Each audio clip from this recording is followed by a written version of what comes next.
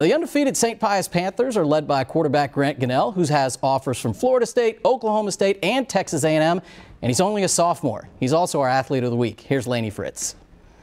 In just his second year with the Panthers, sophomore quarterback Grant Gunnell has led St. Pius to a 10-0 record and a spot in the playoffs. The way he leads as a sophomore is pretty special, and you know he's got a bright future ahead of him. In the offseason, I put a lot of work in. Almost every day, I was throwing, working on my mechanics.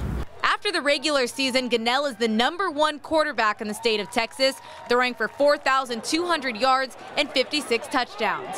My receiver's running great routes and getting open and just doing a great job catching the ball.